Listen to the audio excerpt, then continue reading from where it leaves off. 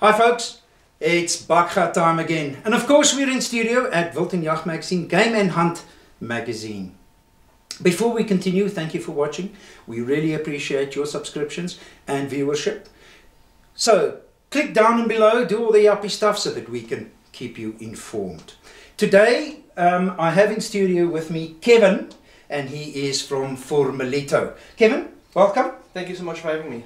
It's a pleasure, absolute pleasure. What are we discussing today? Today we're talking about RCBS's Matchmaster. Matchmaster, not the Charge No, no, this is the Matchmaster. Brand new product. Yes. All right. Kevin, vertel 'n bietjie vir my van jouself en jou betrokkenheid in die herlaai industrie.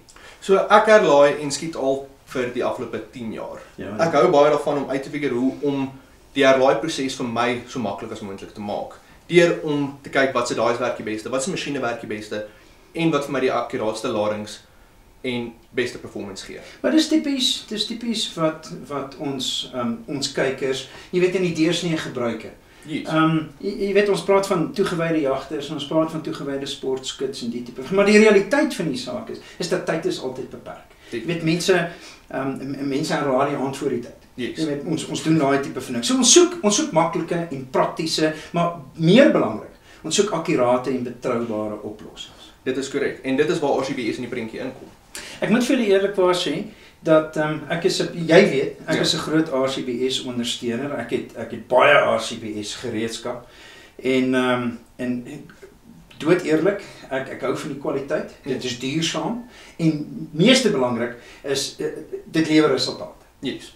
Ons almal ken Formulito, ehm um, een van die grootste ehm um, import wholesalers in Suid-Afrika met met fantastiese ehm um, handelsmerke soos CZ en Federal en Leopold en uit die aard van die saak RCBS. Maar vertel vir my van RCBS per se en julle verhouding met RCBS.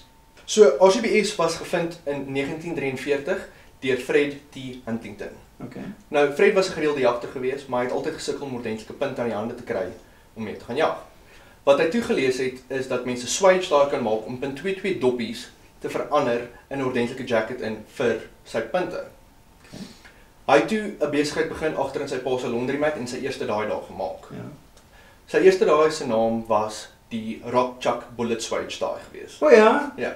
So die Rockchuck Bullet Swage daai het eintlik sy naam gekry van 'n rockchuck af. Dis 'n klein diertjie wat altyd daarvan gehou het om te jag in Noordwes-Amerika. okay. Rockchuck eh, Rockchuck Bullet Swage daai was toe naderhand verkort na RCBS toe en dit is waar die besigheid sy naam gekry So het. dis waar dis waar vir RCBS staan. Yes, dis Ek korrek. dink dit staan vir een of ander reuse industriële naam. Daar's niemand wat eintlik vir jou daai inligting kan gee behalwe as jy nou gaan oplees daarop. Ja, natuurlik. Natuurlik. Ons as Formulite het 'n ongelooflike goeie verhouding met RCBS. Ons is die geakkrediteerde en alleen invoerders vir RCBS nou al vir jare. Ons praat Matchmaster van RCBS, julle heel nuutste ehm um, powder dispenser. Vertel vir my in breë trekke ehm um, van 'n paar van die van die nuwe aspekte rondom die produk.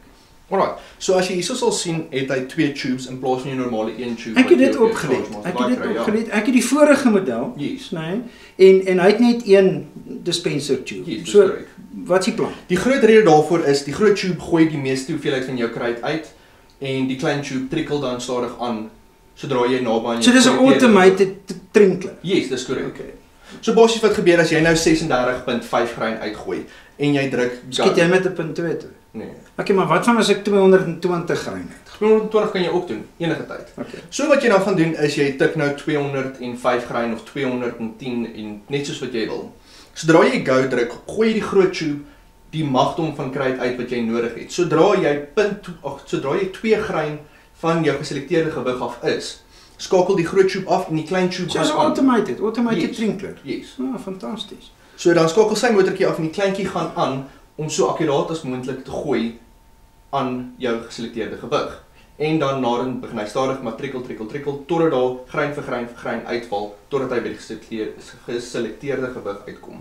Sê gou vir my, wat is die maksimum wat afgemeet kan word op 'n slag? Wat is die maksimum wat die skaaltjie kan afmeet? So hy het eintlik twee verskillende settings. Hy het 'n match mode Ja. en hy het 'n standaard mode. O ja. So in match mode kan hy tot op 300 grein kan hy weeg. Dis fantasties want dit dit dit cover jou um, 416 Barretts, 460 Steyrs, 50 BMG's, dit dit cover al daai kalibers. Fantasties. En dan in standaard mode kan hy tot op 1000 grain gooi. 1000 grain. 1000 grain akkuraat. So wat jy vir my sê is, is ek kan nou daai 14 en 'n half vir my ook laai met jou charge. Yes, exactly. Omdat die Matchmaster 'n pharmaceutical grade skaal gebruik, Ja. kan jy in match mode akkuraat tot 0.04 van 'n grain laai en in standaard mode tot 0.1 van 'n grain laai. Dis fantasties. Dis fantasties. Dit dit gee vir jou daai bench rest kwaliteit. Exactly. En dit is exactly wat hulle wou gedoen het met die Matchmaster. Vertel vir my van die haper. Hoeveel kruitjies kan daar ingaan? So in die haper kan jy gemaklik 500 gram se kruit daarin gooi en dit kan gemaklik daarin pas. Dis fantasties. En ek gaan jou sê hoekom. Ouens wat ELR skiet, um, al hierdie groot kalibers, die die 300s, eh, eh, die 375, die 416s, daai goeie. Jy weet dit is verskriklik frustrerend. As jy gooi meer poeier in die haper as wat jy koele maak. Exactly. Ja. En dit is die grootste verskil. Dis hoekom hulle hierdie haper so groot gemaak het Yes. om dit vir jou makliker te maak en jou herlaai proses so vinnig as moontlik te maak. Maar die groot vraag van alle hapers is, drein hy maklik en drein hy skoon? O ja, ongelooflik. Jy kry 'n tube saam in die masjien Ja. en jy sal hierso langs die kante sien, het hy twee streepies. Okay. So jy draai die masjien dat net hierdie agterkant afhang. Jy Okay. druk die tube in, druk die tube in jou blok Ek hou van daai plan. Ja. Ek hou van daai plan. OK, kom ons gesels oor ek sien hier's 'n nuwe uh display interface. Ek neem aan, ek neem aan jy het features en functions. Ja, nee, hy het ongelooflik baie features en om enige setting op hierdie ding te verander is ongelooflik maklik. Hulle het dit so maklik en vinnig as moontlik gemaak. Ek sien daar is 'n uh, splinter nuwe interface. Yes, dis korrek. So hierdie nuwe interface is ongelooflik maklik om te gebruik. Ja. Hy klomp shortcuts en goeders wat jy kan gebruik om dit vir jou so maklik as moontlik te maak. OK. Ehm um, belangrik vir my kan ek ook spoedverstellings. Yes, dis 100% korrek jy kan. So dis so maklik soos om een te druk en powder. Jy het kry vier verskillende spoedsettings, een wat jou stadigste is en Ja. vier wat jou vinnigste is. Okay. Een gebruik jy vir jou fynner kruit Ja. en vier gebruik jy wat jou vinnigste is, gebruik jy vir jou groter kruit, net om dit makliker daar uit te kry dat jy nie vir ewig hoef te sit. Soos daai 12 12.7b, daai daai Yes. lang kruite. Yes. OK.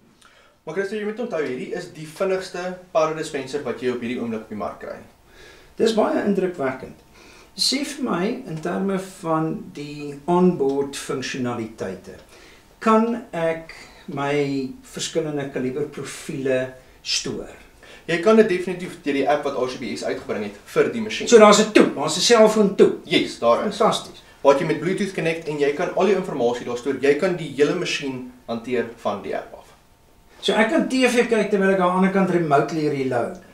Tegnies jy moet net 5 meter, jy moet net binne 5 meter van die masjien Binne af weg. 5 meter. So as hy langs jou staan enige tyd. verstaan. 'n Baie belangrike ding vir ons kykers is waarborge en nasorgdiens. Vertel vir ons daarvan. Right. So die Matchmaster het 'n 3 jaar waarborg. Dis indrukwekkend. Ja. So as jy enige probleme het wat fabrieksfout is of enigiets in daai lyn, Mm. bring jy die masjien terug na ons toe en ons vervang vir jou gratis. En dis nou as gevolg van die goeie verhouding wat julle het met RCB. Yes, julle is- jy gaan eenvoudig die produk uitruil en klaar. Dit is korrek. Okay. Ek hou van wat ek sien. Dis nog 'n pype RCBS produk. Dankie dat jy hier was. Ek waardeer dit opreg. Baie dankie dat ek hier kon wees. Ek waardeer dit baie dat ek kon om vir jou kykers en vir almal die briljante Matchmaster kon kom wys. Jy's baie welkom. Nou, baie dankie. So, daar het julle dit. Die Matchmaster van RCBS. Ek dink dit is 'n verskriklike indrukwekkende produk. Ek stel voor julle gaan kyk. Die produk kry beslis die bakgat stamp of approval.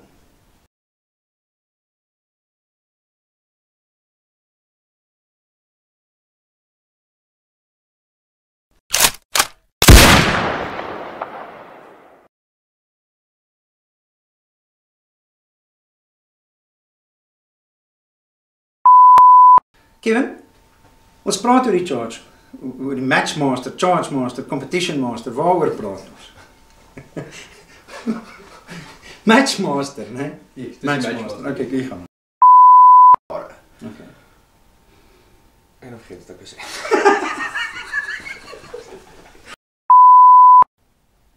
Ag, sorry. Ek wil net sê dit was 'n Ons kort net 'n kers. Ja, nee, ek weet. Dit is 'n groot oomblik vir my. Ja. Groot oomblik vir my. Die Mhm, mm sorry. Sodra jy die geselekteer Okay, jy Ta-da-da-da.